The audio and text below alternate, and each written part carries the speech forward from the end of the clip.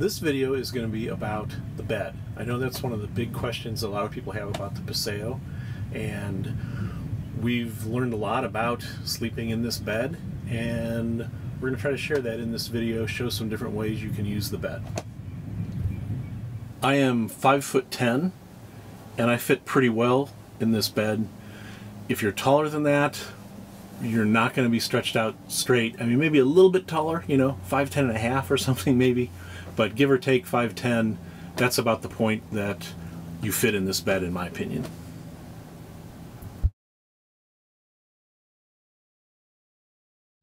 So this is the sleeping orientation we tried at first. And this works pretty well because you can see the television from here and it just seemed like this was natural. You don't have the TV in the way as you get up and out of the bed and, and such. But when you get out of the bed in this orientation, it's a little more acrobatic because you have to like bring your legs up and pivot around and do this to get out of the bed.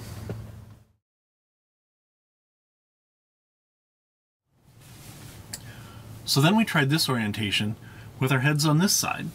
And we thought the TV would be in the way, and obviously it is if you leave it out like this. But when it's folded back and you lay down, it's really not in the way. Plus, when you're over this way, you have really easy access to the light switches, which are right here on, on this side of the wall. So getting out of the bed on this side is definitely a little easier. You don't have to be as acrobatic with your legs and swinging them up out of the way of the refrigerator and the wall over here.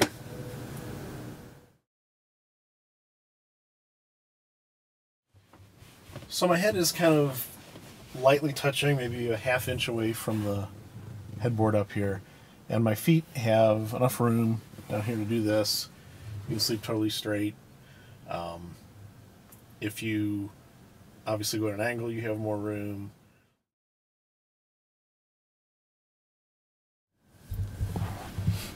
So the one thing I haven't been able to do comfortably in this bed is sleep on my stomach. Because if I'm on my stomach, my feet, there really isn't enough room for my feet to be in any sort of comfortable position down here.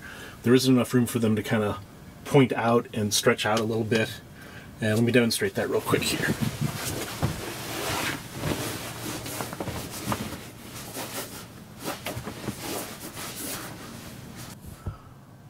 So maybe other people sleep differently on their stomach and their feet would be okay here, but for me, I just can't find a, a comfortable position if I'm laying on my stomach.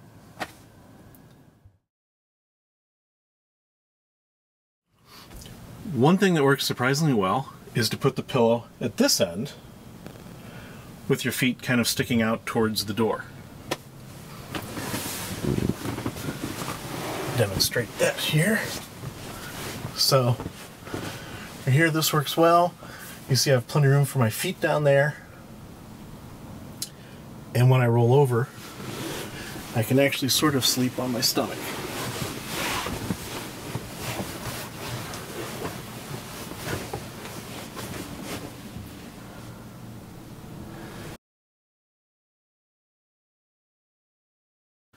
Now with the pillow at this end, obviously getting out of bed is a little more acrobatic endeavor.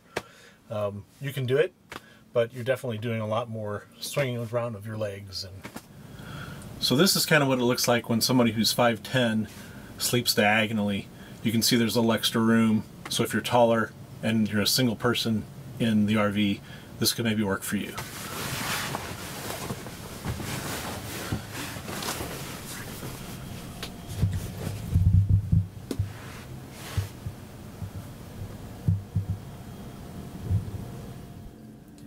This is what it looks like if you use this bench as a bed.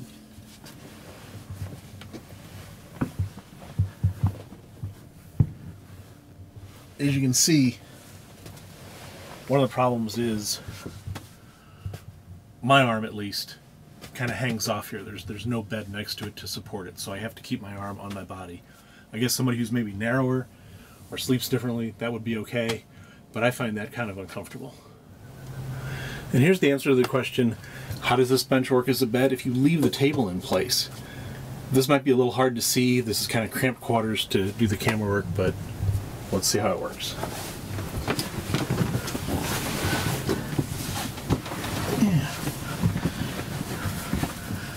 that wasn't too bad. I'm getting up, just kind of do this sort of, kicking the table, don't have it locked in place. And I think that would work. Again, it's still pretty narrow, but if you can live with it being narrow, this actually seems like it would work better than I thought it would.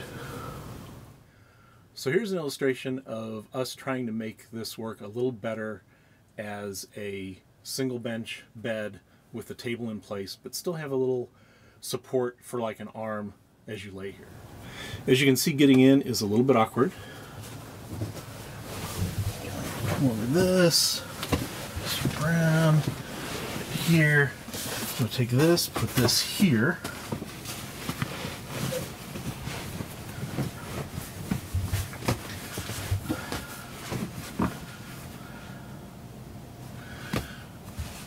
yeah, a little support for the arm. Again, getting out of this is a lot of gyrations, but maybe somebody would find this worthwhile trying. Thanks for watching this video about the things we've learned so far about the bed in the Paseo.